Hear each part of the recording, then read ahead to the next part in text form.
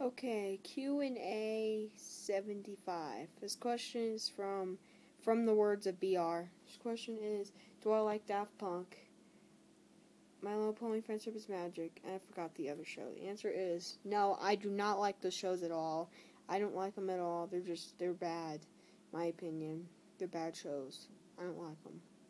No offense, if you like these shows. No offense. I just I don't like them at all. But but thank you for ans- for thank you for asking.